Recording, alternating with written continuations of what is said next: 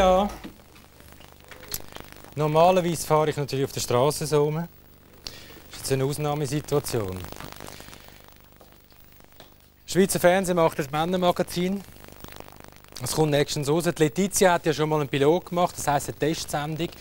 Die hat man dann nicht können brauchen, die Sendung, weil es ist ein bisschen so einfach ein bisschen retro war von der ganzen Idee her. Ja, wir werden das heute mal ein bisschen probieren, wie, so eine Männersendung. Oh, können Sie bitte übergehen? Wie so eine Männersendung richtig aussieht. Äh, verstehen Sie, wenn man eine Sendung macht, wie Beispiel äh, Lipstick oder so. Eine Sendung wie Lipstick. Dort sind Themen natürlich klar, da kann man ein über Schönheitsoperationen, Modetrends, postmenstruale Beschwerden und alles so Zeug reden. Und bei einem Männermagazin ist das einfach schwieriger. Ähm, ein bisschen arbeiten bitte. Ja. Also bei einem Männermagazin, wir reden natürlich nicht über Haarteil oder äh, über äh, Urinflecken neben dem WC. Tun Sie bitte putzen. Putzen. Wie Frauen das machen, putzen. Äh, ja, oder über Zigarren oder irgend so etwas Fußball oder über, über Abänderung. Schaffen, schaffen, schaffen. Äh, also Abänderung ist für uns nur ein Thema in Bezug auf TÜV. Wir würden also gerne versuchen, so ein Männermagazin zu machen. Wir haben das mit dem Herrn Schellenberg besprochen, gesagt, blutige Weiber ist geil, bringen die. Die können ja zum Beispiel mit ihren Oberteilen das Zeug putzen und so. Die Redaktion ist dafür, die Kameramann ist dafür, ich bin dafür, Sie sind auch dafür, oder? Ja, ich bin auch dafür. Er ist seltsam, dass Sie jetzt da dafür sind. Sie haben mir vorher gesagt, Sie möchten nicht dafür sein, wegen der Freundin. Gut, schneiden wir nachher raus. So, äh, haben Sie nichts zum Putzen? Nicht um, noch umhängen, ein bisschen putzen? Frauen, Frauen sollten eben wirklich mal etwas tun für den Haushalt, oder? Nicht nur immer Fernsehen schauen, Baywatch und so Sachen. Den Baywatch-Kostüm allein geht es ja wohl nicht. Herr Kuhns, Sie hätten gerne eine Auskunft zum Thema Männermagazin. Jawohl, die haben alle recht. Ja, haben recht, mal Geiles im Schweizer Fernsehen, neben deiner Sendung. Ja, also das sind, das, auf das arbeiten wir natürlich. Ja, eben. Wenn man etwas gescheit, nicht in der Scheissdreck so. Ja. ja es ist, manchmal ist es schwierig, aber was ist denn für Sie Scheissdreck? Das ist ja immer subjektiv. Ja, Oder? so langweiliges Zeug da, rumgeschnurrt rum. Nichts, mhm. nichts gescheit, nicht nur geschnurrt. Ja, und die meisten Sendungen, dunkel mich, sind auch frauenfeindlich. Ja, genau. Das ist das Schlimmste. Dabei könnte man nämlich die Frauen auch ein bisschen schön zeigen. Mit ihren Fähigkeiten, die sie haben. Genau, man muss sie ja nicht immer verhunzen. Oder? Jetzt bald. Im 10 vor 10 zum Beispiel. äh, Herr Danner. Herr Danner, Sie sind am Wort. Richtig. Herr Baumann, ich muss sagen, Kinobar ist eine Katastrophe. Entweder wird die Sendung komplett regeneriert oder die muss rausgeschmissen werden. Frau Hirsiger ist ja okay, aber dann kommen irgendwie andere, die über einen Film abziehen, das ist eine Katastrophe. Ein Film, den ich letzte Woche schaue, der absolut super ist, der am meisten gefällt. Welcher Film ist denn das? Gewesen? Con Air mit Nicolas Cage. Ja, und die haben natürlich im, in, der, in, der, in der Kinosendung nicht gut gefunden. Das ist absolut nicht kritisch, was sie dort machen. Die tun einfach jeden Film prinzipiell abmachen. Das geht doch nicht so. Es muss doch kritisiert werden. Ja, sie tun es natürlich auch aus der esoterischen Seite aus ein bisschen anschauen dort. Ja. Oder?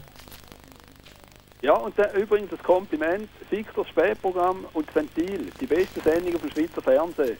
Macht ja. weiter so, ist tipptopp, bleiben am Ball. Ja, aber, aber Sie, sind also, Sie sind auch nicht kritisch. Wieso? Ja, ich meine, wenn, wenn Sie unsere Sendung gut finden, dann nachher gehören Sie also schon zu den Hardliner. Ich bin ein Hardliner. Ah, das ist gut. Frank. Andi Remy. Ja, hallo, guten Tag. Uhrenvergleich? Äh, Uhrenvergleich? 9.33 Jawohl, also wir haben Abend. Ja, gut. 9.33 Aber im Fernsehen ist das ja gleich. Sicher ein Watcha, das nicht, das nicht richtig tickt. mhm. Aber Jawohl. ich sehe dich und du mich nicht. Ich sehe dich und du mich nicht. Jawohl, das Aha. ist gut so. Ich glaube besser. Ja. ja, also zur Sache. Ich wollte sagen, ähm, jetzt wird ja dann Schweiz 4 umgebaut. Zu Schweiz 2 oder wie Jawohl. Heißt. Und ich finde das nicht nötig. Ich denke, ein Sender, der SF DRS lange für die Schweiz. Weil es gibt ja zwischen den Tessiner und der Welsch und der Deutschschweizer gibt es ja, ja, nicht so viel, dass man zwei Sender bräuchte. Ja, wir tun eben das Geld einspielen, damit die Tessiner überhaupt äh, können senden Ja. Das muss man also, auch sehen. Aha, ja, aber ich finde das gut. Ich meine, die Italiener verstehen schon Fernsehen. Vielleicht könnte der Kameramann einmal auf die Schuhe gehen. Weißt du, nicht immer. Weißt, ist ein bisschen, ich finde deine Haltung jetzt doch ein bisschen primitiv. Nicht auf deine, auf die Ballischuhe. Die, die haben ja alle Ballischuhe an. Das ist ja der Sponsor von dieser Sendung, der nie etwas zahlt, oder? Krawatte nie schickt, wo er extra liest mit. Ja, das ist eine leide Sache. Remo! Ah, hoi. Yes, Sir! Hoi, Frankie Boy. Ja, Du, ich habe etwas wegen dem Männermagazin. jawohl. Äh, wir sollten eben ein nackte Frauen zeigen. Und nicht die arbeiten lassen, wie es du machst. Ja. Dem Frauen sollte man Mensch, bisschen was schonen. willst du noch mehr? Wir haben ja die nackten Frauen. Ja, aber die Frauen, die Frauen sollte man schonen und nicht da arbeiten lassen. Weißt du, Frankie Boy? Das Aha. solltest du eigentlich wissen. Ja gut, aber weißt, das finde ich jetzt also ein eine sexistische Haltung. Würdest du Du, noch etwas hey. sponsern für die weitere Entwicklung von dieser Sendung? Nein, nein, du kommst zum anderen Thema. Wo ist denn der Wettbewerb? Ja, nicht der Wettbewerb. Alles gar kein Problem. Ähm, ja. Kannst du näher mit der Kamera? Ja, ja. Gut. Dann haben wir noch mal eine Frau ja, und eine Kuh. Heute gibt es ein Reis zu gönnen. Ähm, An die Langstrasse. an die Langstrasse. Wo du herkommst, oder? Und es braucht das T-Shirt. Aha, ähm, Willst du es gleich probieren? Lass mal, weißt du, die Sendung, wenn du so langsam redest, stehst, dann wird sie also wirklich so zum Seniorama. nicht Seniornama. Nein, komm, hör auf, du. Ähm, Tschüss! Du bist langsam. Also, wen haben wir da? Der Herr äh, Fransch. Ja, am Telefon. Jawohl. Also zuerst zum Wettbewerb, das heisst Arschcool. Das ist leider ist das falsch. Würden Sie bitte entweder schaffen, sich ausziehen oder irgendetwas machen, aber nicht einfach da rumstehen. So langweilig, gelangweilt. Ja, hast du, ist das alles, was du zu sagen hast? Ist natürlich Nein, die falsche ja, jetzt Antwort. Und tschüss. So, der Herr Müller. Was? Sind Sie Herr Müller von der Tagesschau? Nein, nein, nein, nein. Nichts, nichts so, nichts so. Nein, ich kann eigentlich nur sagen, also mal als Erste, äh, ja, der Töff war ja gut und recht, gewesen, aber die, äh, die du hinten drauf hast, die hätte man ruhig können weglassen Ja. Also, äh, Das ist schwierig. gut, ich, begreif, ich begreife es ja, dass man mit diesen Konzessionsgeldern nicht mehr kann, äh, erwarten kann. Ja. Persönlich wir nehmen gern, wir Dame, nehmen die gern Kamera Sponsoringbeiträge entgegen. Wie? Wir nehmen gern Sponsoringbeiträge entgegen. Es Ja, ist ja auch. nicht so. Ich nehme auch gerne Sponsorbeiträge entgegen. Für jedes Kleidungsstück 100 Stutz. Du hast aber etwas zur Tagesschau sagen, bitte. Komm zur Sache. Lass dich doch nicht einfach Zur ablenken. Tagesschau, nicht zur Tagesschau, zum Männermagazin. Zum Männermagazin. Jawohl. Das ist ja das Gleiche. Findest du? Findest du? Jetzt, wo wir so viel, so viel Männer tun entlassen, ist das Männermagazin mehr. Nein, tut nur einen. Und der, der, Ja, der der- hat ja schon die Flüge gehabt, oder? Eben schon, ja. Die Fliegen. Der hat noch keinen Busen gehabt. Ja, darum hat man ihn entlassen. Eben, ja, genau. Das ist ja klar. Es gibt übrigens noch einen anderen, äh, das finde ich interessant, dass wir jetzt gerade beim Thema Tagesschau sind. Was macht eigentlich der Leon Huber? Vielleicht kannst du noch ein bisschen auf die rechte Seite vom Bild schwenken. Er gibt sich als Tierarzt aus. Leon Huber, der Tierarzt. Dabei, dabei gibt es ja andere, andere Männer, die in diesem Alter ganz andere Karrieren machen. Zum Beispiel der. Das wäre dann der Christian Anders. Ihr kennt alle das wunderbare Lied. Es fährt ein Zug nach nirgendwo mit mir allein als Passagier. Herr Schaub, redet Sie. Herr Schaub? Colin ist am Telefon. Jawohl. Frank, Ja. ähm, betreffend dem Männermagazin Thema, das du da hast. Ähm, grundsätzlich finde ich das sensationell. Nur, mach es doch einfach so, dass auch die Frauen Lust haben, das zu schauen. Mit dem Mann zusammen. Dann läuft etwas. Ja, dann wir, haben etwas ja den, wir haben ja den Red dabei. Der Red dabei. Oder? Ich meine, hä? Der ist Red das nicht? Er redet nicht dabei, aber er heißt Red. Er muss ja nicht dabei okay. reden, nur weil er Red heisst. Ja, ja, aber, aber nein, nein, wirklich, ich finde es einfach schade. Grundsätzlich fände ich das sensationell. Mach, mach eine Sendung oder Ja, irgendjemand soll die Sendung machen. bitte ein konkreter Vorschlag. Was können wir machen, damit die Frauen Freude haben an dieser, Sitz, an dieser Ja, Sendung? was weiß ich, man kann schöne Männer zeigen. Ich finde einen schönen Ja, Mann... da haben wir ihn doch. Was ist denn los? Ja, Schönheit ist subjektiv. Jetzt, jetzt sieht es schon viel besser aus. Ja, aber das ist ja wieder. Also, Nein, Das ist ja jetzt wieder gleich ein Frauenmagazin. Moment. Moment, Moment. Ich würde nicht sexistisch sein. Schöne Frauen, sensationell. Bring zum Beispiel, du hast jetzt gerade Fotos gezeigt von nackten Männern, vom Leon Huber. Das gehört in ein Ja, also Frauenmagazin. besser gut, du das nicht alles zusammenhängen. Der nackte Leon Huber, gar am Ende noch mit dem Pudel. hä? Säunickel. Herr Bernasconi. Grüezi, Herr Bernasconi. Äh, eben, ja, da das Thema, das Frauenmagazin finde ich prinzipiell eigentlich gut. Das mein schauen Sie an das Frauenmagazin. Ja, vorher hat mir Werbung gesehen, Philips Epiliergerät, Kerfi und so weiter. Mhm. Das brauchen Sie dann? Brauchen Sie das? Wie? Sind, sind Sie Pilot? Wegen der Flügel, meine ich. Ah, nein, nein. nein, eigentlich nicht, aber äh, mehr zum Flügel da, da weiss, weiss Ihre Mutter, dass Sie so Sendungen schauen? Ah, äh, ja, gefragt vorhin. Ich habe vorhin gefragt, ob ich da anliegt.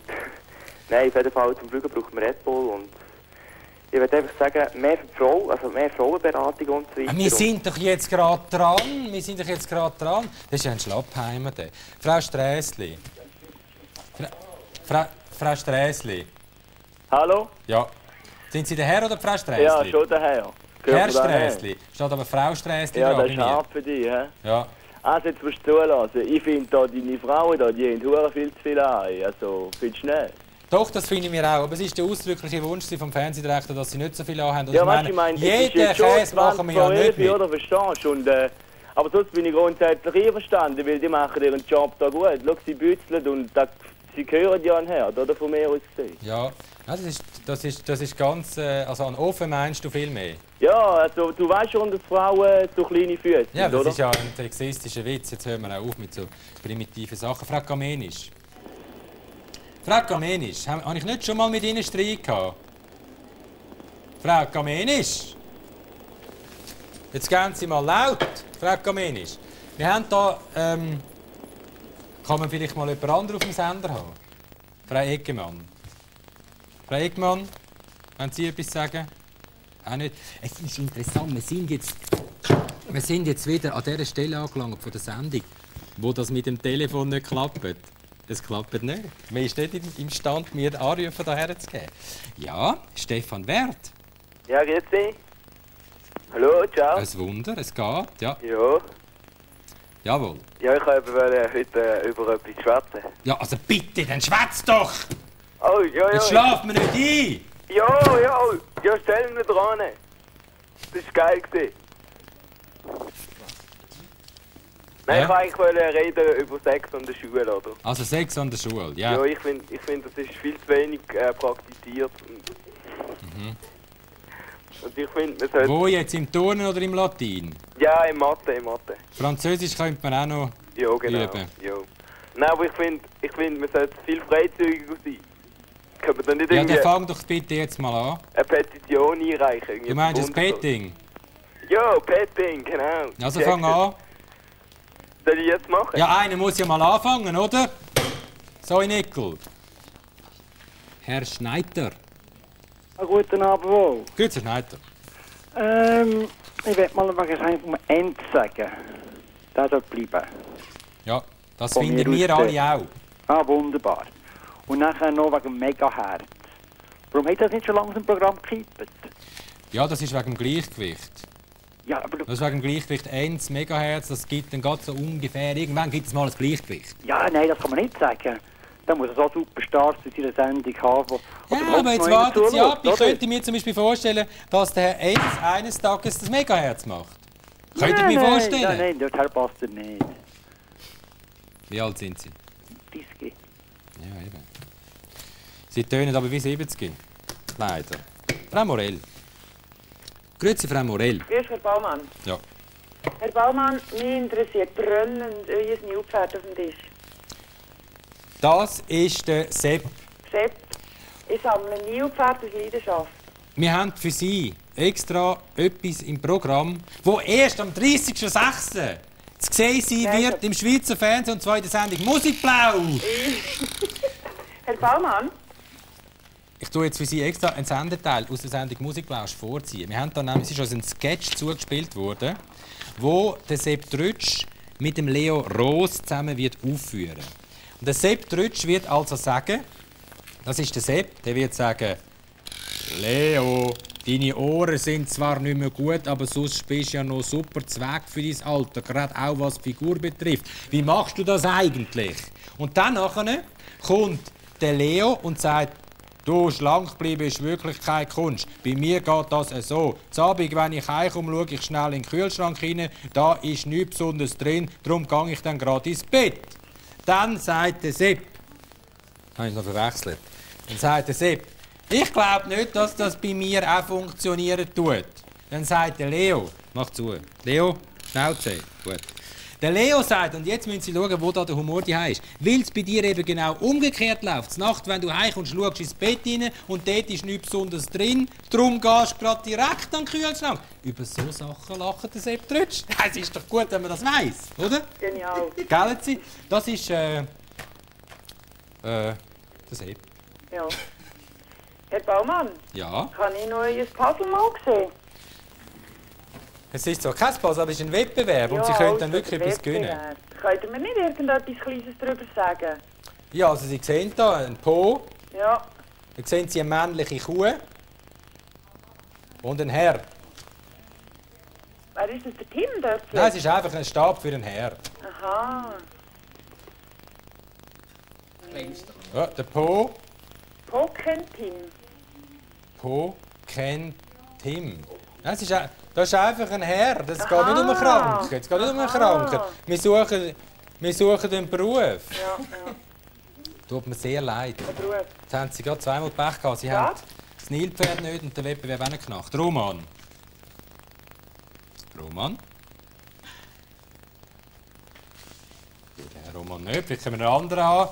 Dann, äh, vielleicht können die Damen nicht einfach zuschauen. Ich weiss, es ist interessant, mal im Fernsehen zu sein, aber bitte nicht arbeiten, weil ich meine, ich muss den Töpf dann heimbringen und dann muss er wieder sauber sein. Gell? Macht jetzt keine Dummheiten. Tun ein bisschen da, wischi, wischi, wischi. So, Roger. Roger? Ja, aber die Frau ist eine Katastrophe, die du hast. Gabriele wäre Gabriele Amgarten. Gabriele Amgarten im Bikini. Ja, ja genau. Alt bist denn du? Du Ja, gehst immer noch in die 17. Schule in dem Fall, hä? Ja, schon. Ja, ja. Also, hast du Fängst du nicht an? Hä? Hast du noch nie Baywatch geschaut, oder? Du schaust immer Risiko. Ja, ein schöner Vogel, du. So, wer ist denn der Nächste, der am Telefon ist? Herr Schwarz. Herr, Herr Schwarz. Da ist der Röbi aus Bern. Röbi. Ja. Äh, Du hast mal ein Interview gegeben, BZ for You. Weißt du noch? Die Drogennummer. Jawohl. Jawohl. Und Mehr das- für Lehrer. Jawohl, und das heißt unten dran, in einem der nächsten Ventile beabsichtigt Frank. Baumann einen großen Sehr gut, sehr gut Ja. sagst du das. Ja. Wir werden nach der Sommerpause in der ersten Sendung versuchen, die Drogensendung zu machen. Mit dem Drogenpapst Polo Hofer und natürlich noch mit einigen anderen, die dort ein bisschen bewandert sind. Damit Ja. wir mal end endlich auch den jüngeren Leuten, die um diese Zeit kann können zuschauen können, kann zeigen, wie man so einen Joint richtig rollt. Weil das Zeug wird ja immer noch sehr flapsig gemacht zum Teil. Ja, das wahr, ja, ja. Eben. Eben, noch Statist, Das Statisten Zentner, braucht oder? im Hintergrund. Ich meine er? allerdings, dass gerade das Thema Hanf ja auch da. Äh, äh, nicht, nicht am Motor lang, ist doch heiß, oder? Das ist doch ein Ofen. Heimatland. Also, Herr Zimmermann. Herr Zimmermann, was erwarten Sie von einem Männer- Männermagazin? Ja, ich, ich habe keine Frage zu dem. Sie interessiert. Nein, Tun Sie sie doch gleich ja, beantworten. interessiert eigentlich der TSBA, was dort hast. Der TÜV? Ja, ja. Ja, ich bin auch Harley-Fahrer und darum interessiert mich der TÜV. Ja, dann werden Sie doch sofort erkennen, was es für ein TÜV ist, oder? Hä? Dann werden Sie doch sofort erkennen, was es für ein TÜV ist. Ja, das erkenne ich schon, ja. Aber ein bisschen verpastelt, aber sonst ist er nicht Verpastelt? schlecht. Ja, ja. Amateur, was fahren Sie für eine. Harley? Yamaha oder wie? Hä? Hä? Rolex? Ja, ja. Rolex? Nein, Solex? Äh, eine andere Frage noch. Solex. Äh, äh, mich äh, regt irgendwie ein Sommerprogramm auf, das wir äh, wieder haben da, den nächsten Sommer. Schaffen bei euch denn niemand am Sommer da? Sagen Sie mal ganz eine andere Frage. Können Sie sich nur etwas fragen, wenn Sie den Text vorher aufgeschrieben haben? Wieso Ja. lesen Sie den ab? Wieso lesen Sie jetzt den Text ab, wenn Sie ein Harley-Fahrer sind?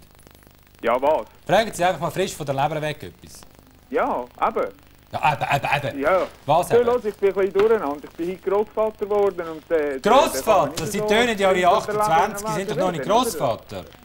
Was für wie, was, Grossvater? Wie alt sind Sie? Ja, Ja, das spielt keine Rolle. Ja, mal in dem Alter spielt es eine Rolle. Sie sind ja der jüngste Grossvater von der Welt. Ja, 44, das geht ja noch. 44, Ja. sagen wir 20, 24. Ja, geteilt Ist relativ jung, aber es der- geht. Es geht. Wir haben es gerade ausprobiert, es geht. Ja, ja, Ja, klar. also ich bin froh, wir können darüber reden. Übrigens haben Sie gewusst, dass es immer mehr Männer gibt, die in der Küche mixen. Hinter verschlossenen Türen mixen. Haben wir jemand einen Stabmixer geschickt, einen Barmix-Stabmixer. Und der behauptet, man kann aus Milch, aus Milch Schlagrahm machen. Mit dem Barmix-Stabmixer. John Gier, Sie haben auch gerade eine Frage. Jerry aus dem Bündner Oberland. John Gieri? Der John Jerry, ja. Oh, leck mir alles. Eine Witzfigur, oder wie? Nein, ich bin, nein, nein, ich bin gar keine Witzfigur, aber ich sehe das erste Mal die Sendung. Wir haben nicht so gut Fernsehen da oben. Ja, das ist klar. Ich schaue da immer ins Aquarium ein, ihr Vögel. Ja, da, nein, das stimmt nicht so ganz. Die Wäschmaschine. Ja, bei dir, wenn wir nichts anderes tun im Fernsehen. Aber ich habe eine andere Frage wegen dem TÜV. Das war noch gar keine Frage. Ah, jetzt kommt die Frage erst, weißt du? Ist der TÜV, den du dort hast, kann man den mit den Frauen auch mitkaufen? Man kann ihn mit den Frauen mieten, aber nicht kaufen. Aber du hast ja auch so einen TÜV. Aber ich habe die Frauen noch gemietet. Aha, aber ich... Hey, ich habe den Hebel um da, Ruhe. So, wer ist der Nächste, bitte? Das gehört eben auch in eine Männersendung rein, meinen wir, dass man auch Haushaltsgeräte zeigt, die das Leben des Mann erleichtern. Also zum Beispiel das Schaumschlag mit dem komischen Mixer da, wo in der Schweiz hergestellt wird. Oder? Das ist ja in jedem Chefbüro, in jedem Chefbüro von der SAG. Das muss man sich mal vorstellen. In jedem Chefbüro von der SAG hat es so einen. Mit dem schlönt der ganze Schaum, was der ganze Tag rauslönt. So, dann haben wir Quaresina. Quaresima. Hä? Quaresima. Quaresima. Ja, Stefan, kannst du mir Stefan noch sagen? Bist du äh, ein Fußballprofi? Ja. Habe ich schon halb gedacht. Ich will sagen, könnt ihr nicht ein bisschen mehr internationalen Fußball bringen, im Schweizer Fernsehen? Gibt es da nicht? Ja, internationaler Fußball. Wir haben ja schon Mühe, den Schweizer Fußball richtig zu übertragen. Eben, das finde ich auch. Aber dann habe ich noch etwas zum Wettbewerb. Kann noch den Wettbewerb lösen. Hä? Nein, gar kein Problem. Mit mir leicht der Kameramann. Äh, ja, der Wettbewerb. er hat leichte, hat leichte Flecken. so, vielleicht könnte die Dame mal nicht nur am Töpf rumputzen, sondern auch den Kameramann putzen, weil er ist wirklich ziemlich dreckig. Ich wäre sehr froh, wenn sie helfen würde. Gut, ja. du, du kannst den, den Wettbewerb nachher mal lösen. Vielleicht kann man die Kamera rasch dir abnehmen, dass man das kann zeigen kann, wie du da gereinigt wirst. So. Du musst in die Kamera schauen, sonst sieht man ja nichts. Ich sehe aber auch nichts. Das ist, ja gut. Die Kamera kann man nicht zeigen, wie sie dreckig ist. Können Sie bitte mal heben nicht fallen lassen. So. Okay, wir können weitermachen mit dem Wettbewerb. Wir haben jetzt eine Kamerafrau in einem Tanga. Das ist einzigartig im Schweizer Fernsehen. Hoppla. So, der Wettbewerb bitte. Also, Postillon. Postillon? Wieso Postillon? Ah ja? Wo? Jetzt haben wir einen Weichzeichner. du, nein, das ist doch kein Postillon. Wieso Postillon? Du hast ja gesagt, der Beruf Po, Stier. Postier. Postier, Jon. Wo ist denn Jon? Wir haben gar keinen Jon, wir haben nur einen Herr. Am Schluss? Nein, das ist ein Herr. Ja. Wir haben den Po, wir haben da den Ochs und wir haben den Herr. Das Dann kann ja aber nicht... sagen, die Sendung ist super. Du bist, auch noch, so, bist noch dankbar. Wobei eben, heute ist es sehr schwer, weil es ja ein Männermagazin ist. Da muss man auch schauen, dass es ein bisschen Männerthemen drin hat. Dass es ein bisschen männlich zu und her geht. Was möchtest denn du gerne haben zum, zum Thema Männer? Hast du da auch eine Idee gerade? Für so eine Männersendung? Bist du noch dran? Herr Wucki! Hallo. Hallo! Äh, wir machen Ich habe gerade einen Fax bekommen, der heißt Sally Frank, wo bleiben der Mann und die Frau, die sich im Hintergrund ausziehen. Das ist der Ja. Tommy Kuster von Zürich. ja, der hat recht. Jawohl! Aber ich möchte etwas zum Rätsel sagen. Schon wieder zum Rätsel. Ja. Es ist interessant, was Männer interessiert. He? Scheiß Alpenfred. Was ist das? Scheiße, krass. Herr Hauser. Herr Hauser, bitte kommen Sie zu Wort. Niederhauser. Sie meinen Miederhauser? Das ist eine Niederhauser. Männersendung. Tun Sie es nicht einfach Ihren Namen verhunzen, Herr Miederhauser. Nieder, nicht Mieder. Niederhauser. Ich kann Ihnen sagen, Sie hätten mehr Nieder, wenn Sie Miederhauser heißen Ja, das ist wunderbar, das ist gut gesagt. Wenn du eigentlich die Sendung alle oben machen, wenn eine Late-Night-Show? Ja, ich will das gerne alle, alle Abend machen, aber man lädt mich ja nicht, oder? Ja, das ist schon noch schade. Ja, natürlich. Dann hättest du gerade vielleicht ein paar Ideen, was man in so einem Männermagazin könnte bringen Ja, es müsste nicht unbedingt Mann, ich tue den ganzen Töpfer ist ja spritzen. so gut, dass da keine blotten Frauen braucht. Ich finde, blutige Frauen kann es immer brauchen. Ja, es ist erotisch, aber es ist nicht nötig. Ja, da würde ich jetzt, da würde ich jetzt nicht so sagen. Was willst denn du gerne haben? Hä? Eine Late-Night-Show, alle oben, es ist sehr unterhaltsam. Ja, was ist eine Late-Night-Show? Aber kommt nur einmal. Ja, aber was ist eine Late-Night-Show? Also etwas, wie der Harald Schmidt macht. Also ich habe das Gefühl, du willst einfach lange aufbleiben, das ist alles. ich meine, jetzt bieten wir dir das Programm mit heißen Öfen, heißen Mädels, politisch absolut korrekt. Was machst du? Du willst lange aufbleiben. Dann, gut, dann wollen wir noch den Wettbewerb lösen in diesem Fall. Wettbewerb, also löst den Wettbewerb. Ich würde sagen, das ist ein Poster. Post, Herr. Post. Nein, das ist es noch nicht, aber es ist näher. Ist näher. So, der nächste, Herr Mors. Herr Mors. Morf. Morf. Jawohl. Also ich habe zwei Sachen, bevor ich die Lösung vom Wettbewerb sage. Ich habe ein bisschen etwas da wegen der Sache Gleichberechtigung. Ja. Und zwar, jetzt haben wir schon Bundesrätin müssen nehmen dort, oder? Die hat auch nicht eingeschlagen. Und jetzt rühren sie den Zähne raus. Irgendwann hat es Grenzen. Gren Gren Grenzen. Grenzen. Grenzen. Ja, richtig. Ja. Ich finde es einfach zu viel. Ja, also ich finde... Danz ist ja wirklich ein sympathischer Mann. Absolut, und der hat da gut in den Studiopass. Genau, hat mit das gut, Flügen, oder? Ja, und von der Größe her hat er auch super ins Dekor gepasst. Viel besser wie andere, die einfach dann zu lang sind. Ja, oder? du fühlst, spielst schon viel mehr aus, oder? er? Eben, also ich bin weniger geeignet für eine Tagesschau Nein, wie das, ja, für die Tagesschau schon, aber für diese Sendung perfekt. Ja, da wäre er wieder weniger gut. Ja, das stimmt. Weil er mit seiner schmutzigen Fantasie wäre da natürlich gerade ausgerastet. Er ist nicht so schlagkräftig, da hast du Ja, recht. aber er hat gerade, hat gerade angefangen auch noch helfen und helfen putzen, fliegen und so. Ja, genau. Und hat dann noch die Leute angelangt. Nein, das ist nicht mehr so gut. Nein, also das war aber der erste Teil von deiner Frage. Gibt es noch einen zweiten? Ja, wegen dem Wettbewerb. Ja. Zum Thema Gleichberechtigung habe ich da noch so ein Gerät bekommen. Es ist ja interessant, was man mir alles zuschickt. Das ist also, Hast du einen Vergrößerung? man kann es vielleicht mal am Hammer ausprobieren. Oh, oh, wow, oh, wow! Hey, das ist aber gefährlich! Hey, wenn dir das passiert. Das ist. Das ist gut. Das, das ist ein Developer. Ja, musst du zuerst Gebrauchsanweisung lesen. Das Ding, das Männer macht. Weil die Wissenschaft hat entdeckt, bei wechselndem Pneu pneumatischen Unter- und Überdruck können sich bestimmte Körperorgane besser entwickeln. Die Zellen werden elastischer, der Blutstrom fließt ungehindert. Sie können das daheim mit ihrer Nase ausprobieren, jetzt gerade in der Über Übergangszeit. Wenn Sie ein bisschen mehr die Nase putzen, die, unser Redakteur, der Beat Hirt, hat heute gerade ein kleines Nasenproblem, weil er immer die Nase putzt. Und der pneumatische Unter- und Überdruck, das Wechselspiel, hat dazu geführt, dass er schon ganz eine grosse Nase hat. Sicher.